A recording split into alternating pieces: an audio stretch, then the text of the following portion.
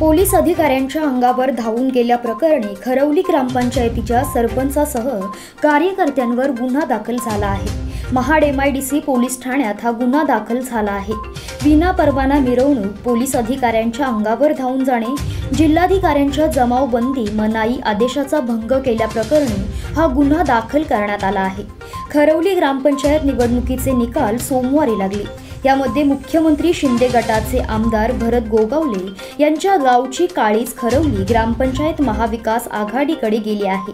या ठिकाणी काँग्रेसचे उमेदवार चैतन्य महामुणकर हे सरपंच झाले. यानंतर कार्यकर्त्यांनी जल्लोषात विजयी मिरवणूक काढली. विना परवानगी मिरवणूक काढल्याने पोलिसांनी खरवली ग्रामपंचायतीचे नवनिर्वाचित सरपंच चैतन्य उर्फ बाबू महामुणकर यांच्यासह कार्यकर्त्यांवर गुन्हा दाखल केला आहे. पोलीस कर्मचाऱ्याने दिलेल्या तक्रारीनुसार रवींद्र नलावडे रेखा सकपाळ शुल्किका म्हस्के राजेंद्र कोरपे धनंजय देशमुख यांच्यासह अकरा जणांविरोधात गुन्हा दाखल करण्यात आला आहे. पनवेल आणि नवी मुंबईच्या ताज्या घडामोडींसाठी मल्हार टीव्ही न्यूज सबस्क्राईब करा आणि बेल आयकॉन दाबून रहा अपडेट.